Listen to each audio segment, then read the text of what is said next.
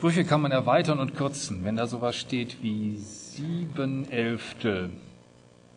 Was ist, wenn ich sieben Torten auf elf Leute verteilen will? Stattdessen kann ich auch 21 Torten auf 33 Leute verteilen. Das wäre erweitern. Wenn Sie oben und unten mit derselben Zahl multiplizieren, kann sich der Bruch nicht ändern. Das ist erweitern. Erweitern ist im Allgemeinen eine eher blöde Idee. Es wird ja schlimmer. Die Richtung zurück heißt kürzen. Wenn da eben sowas steht wie 140, 200 Zehntel, der 210. Teil von 140 ist der 21. Teil von 14, ist der, jetzt wird spannend, der dritte Teil von zwei, was man sich vielleicht am einfachsten zurück überlegt. Also das wäre jetzt kürzen, wenn Sie gemeinsame Faktoren haben. Beim ersten Schritt habe ich durch 10 genommen.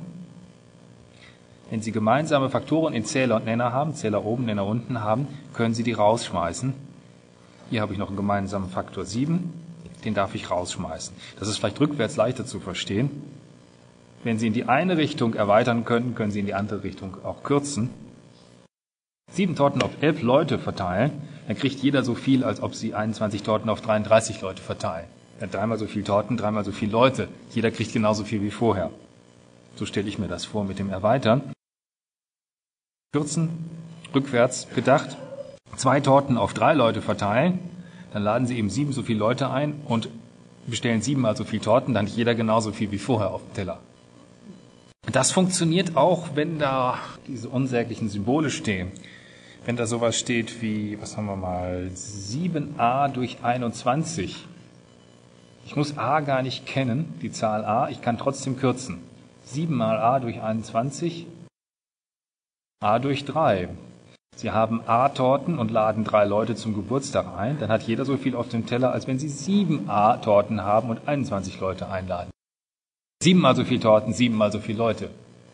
Also Sie können auch kürzen, wenn da Symbole stehen und Sie können natürlich auch erweitern, wenn da Symbole stehen.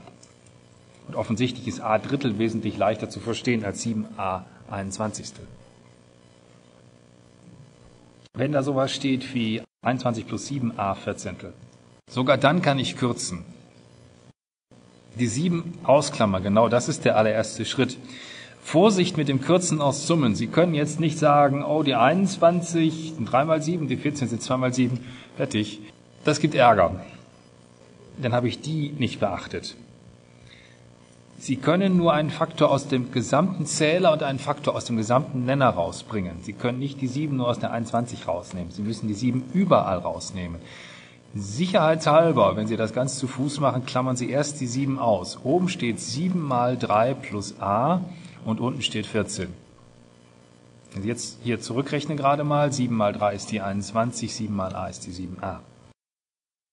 Und jetzt darf ich kürzen. Aus dem Zähler nehme ich nur ein Siebtel und aus dem Nenner nehme ich nur ein Siebtel. Dann ist die Welt in Ordnung. Siebenmal weniger Torten bestellen, siebenmal weniger Leute einladen. Also bitte Vorsicht beim Kürzen, aus Summen kürzen, ja, wenn Sie professionell sind und dran denken, dass Sie da und da das rausnehmen müssen. Dasselbe beim Nenner. Ansonsten sich als halbe erst ausklammern.